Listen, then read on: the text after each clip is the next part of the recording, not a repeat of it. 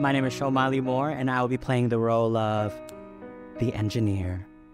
My first memory of Miss Saigon was actually when I was a young little kid, and when my dad worked in Hong Kong, he mentioned about this grand, fabulous musical that the one and only Cameron Mackintosh was bringing into town, and it was Miss Saigon. So I was a young kid just seeing this grandness and epicness on the stage. I went, Mom, that's what I want to do.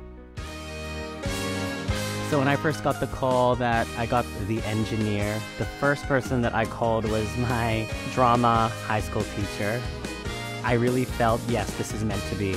Back home in Sydney, Sydney Opera House, the heat is on in Saigon.